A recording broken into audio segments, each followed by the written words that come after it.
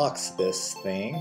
And in this video, we're actually going to put it together, take it out of the box, and put it together. I just didn't want my videos to drag on. You know, sometimes they can be more than 15 minutes. So I kind of just split this into two. Anyway, here it is. We taking it out and as you can see really awesome. Let's go ahead and unpack this and see what we got. All right so let's take a quick overview of what this guy can do. Had to read over a little, little bit of the instructions just to find out where everything is but he does have articulations in the arms and shoulders the elbows as well the elbows as well as the proximal wrist and his elbow. it's kind of uh, stuck in place. I don't want to force anything. So as you can see I have his face off, you can see that right there is where you put the batteries in there. Uh, we'll do that a little later there. So looking at the front, you could actually take off his chest armor. You just kind of pull from the side both sides. It's kind of hard to do this trying to keep him in the camera and you could take his chest plate off. There's his chest plate. Still a lot of detail in the chest, but I think, uh, I don't know why you would display that. I guess you could display it like that, but we're going to leave this guy's chest plate on.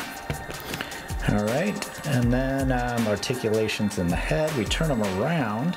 Oh, as you can see, that the batteries for this is actually in the back there. It has a few flaps here.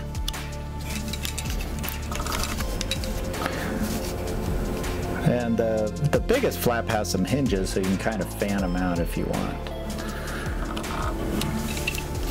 Okay, and then this little plate comes off here, and this is where actually the battery goes, right in there.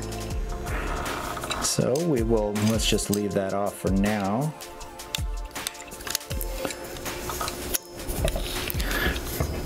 Got two plates on the shoulder. So if you want to bring them up, I think that's more, once you get them in position, you can bring his shoulder pads up and down just so you can cover some of his shoulder blade there. So in regards to his, speaking of the shoulders, you got these little plates that come forward. Like so.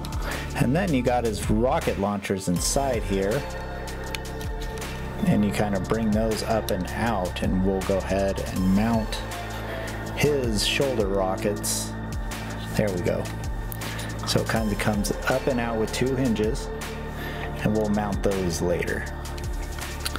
And then if you look on his legs, we got articulation in his hip, his thigh, his knees there, as well as his foot and his toe, which is really cool.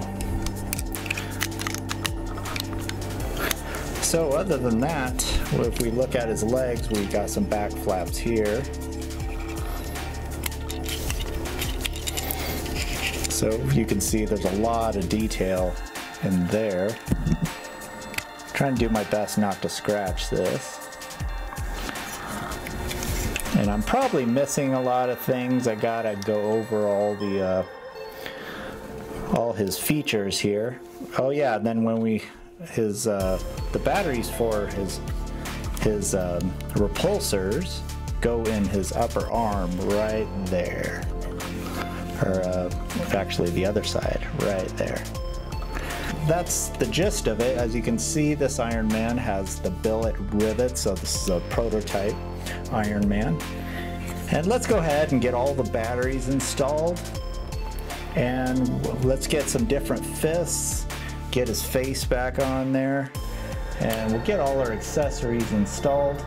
What's really cool about this piece is uh, you got a lot of the flaps you got the metallic silver and the billet features of this so you can really fan them out fan everything out just so instead of having one condensed solid piece you can kind of just fan it out there which is really cool so definitely uh, we'll switch these fists out get our light up repulsors on there, get all the batteries in, and we'll see what he looks like.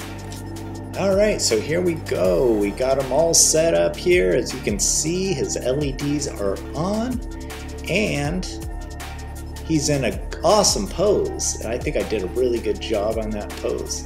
You can see his chest piece is really cool with the riveted stainless look with the LED especially makes it look extremely cool. Got all his back flaps flapped out so it really fans them out and makes them stand out here. So I went ahead and turned off the lights a little bit just so you can see the LEDs. As you can see his eyes are almost dead man. These batteries that come with these things they only last for about 15 to 20 minutes and then they're done. So I would suggest going on Amazon and getting your own batteries. I would just buy them in bulk, especially if you collect a lot of these, because just so you have them, because it's really a pain and you don't want to pay that full price at the store. So we went ahead and turned off the lights a little more. As you can see, the LEDs are blaring and we got our stand LEDs on and we got him in our uh, firing pose with his leg flaps out. And this is a really cool piece. I like that he's very adjustable. You can really uh, bring his legs far forward and far back. So you can put him in almost any pose that you want. And I like the stand, how big the stand is. On my Neon Tech, the stand is just tiny. You have to keep them in this standing position straight up. But this one, you can do pretty much anything you want there. So I'm really excited about this piece to put them on my display case and uh, I think I'm just gonna wire this up maybe. I was I watched some videos on that on it wiring all your pieces up. Seems like a pain in the butt, but once you get it done, it actually makes your display pretty cool. Unfortunately, as you can see there, my left hand, my left arm LED isn't working. Tried replacing the batteries, but unfortunately, I'm going to need a new arm. I contacted Sideshow to see uh, what they can do about it. Hopefully, they can just send me an arm because I really don't want to send this back and start all over again. So there's our uh, nameplate, our Iron Man Mark II, and there's our little exclusive plastic Iron Man it comes with. And that's pretty much our Iron Man there. This is a really cool piece. It's in, uh, there's a lot of detail under all the flaps, under all the, the chest piece, behind the leg flaps are all very detailed. So I'm really impressed with this piece here. Here we go, what you all been waiting for, our awesome little exclusive piece. As you can see, it looks like they just poured some gel into a mold and voila, exclusive. So before we conclude this video, let's take a look at the Iron Man with Robert Downey's head. And it's actually pretty cool. It's very detailed.